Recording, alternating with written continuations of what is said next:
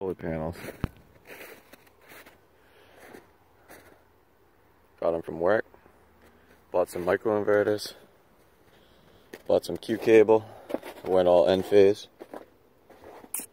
Got a frame from work for HVAC filter frames. I just took them apart, put them back together a different way, as you can see.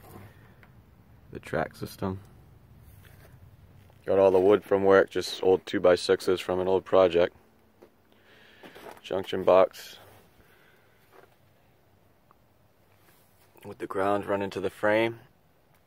Microinverters are double insulated. Don't need to be grounded. But it's basically on wheels. So I can move it around during the day. Because my house is facing due south. And that one tree is in the way. Get it for about five and a half, six hours in the winter. And if you come over here,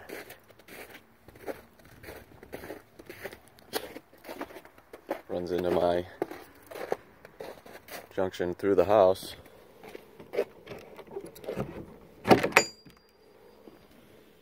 And comes in right there.